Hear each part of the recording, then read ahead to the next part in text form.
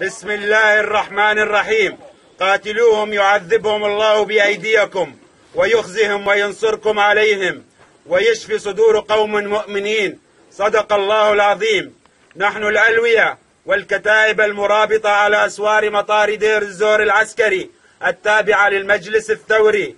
نعلن عن وصول دفعة جديدة وأولية من الأسلحة المضادة للطيران والدروع حيث نتوعد بها الطاغية بشار وأعوانه بتوجيه الضربات القاسية والموجعة في الوقت المناسب وضمن الخطة المرسومة. والله ولي التوفيق. الله أكبر. الله